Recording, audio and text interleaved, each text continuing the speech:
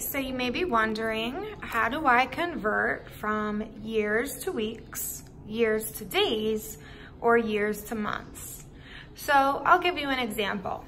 Let's say my son is three years old and someone says, how many weeks is that? So if my son is three years old, I can convert it to the number of weeks. How many weeks are equal to three years? So the first thing we do is we start on our first unit, three years. Then I'm gonna figure out where I'm going. I'm going to weeks. So let's find years to weeks. It looks like it's right here. All I do is follow the rule. Because there are 52 weeks in one year, we're going to multiply by 52 to find the number of weeks in three years. So I'm gonna take three years, because that's what I'm starting with. Three, three times 52. Three times 52 equals 156. So if my son is three years old, he's actually 156 weeks old as well. Now let's try years to days. So I'm gonna think about how many days are in two years. In one year, there's 365 days. So to go from years to days, I just follow my rule. Multiply by 365.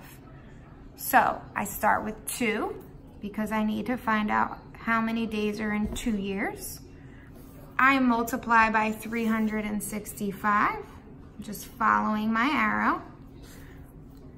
2 times 365, that's going to give me the number of days. 2 times 365 is 730. What about years to months? Well, how many months are in one year? Did you guess 12? Good job. To go from years to months, multiply by the number of months in one year, which is 12. So I'm gonna start with five years. And I need to think, five times what? I'm going from years to months. So years to months, my rule is times by 12. Five times 12 is 60. So if your friend is five years old, or your little brother or your little sister is five years old, that means they've been alive for 60 months. Five times 12 is 60. So just to review, to go from years to weeks times by 52, because there's 52 weeks in one year.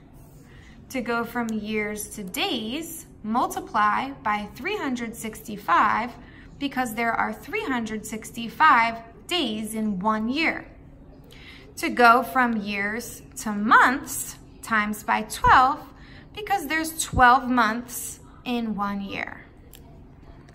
Hopefully you guys found this helpful and you will be able to start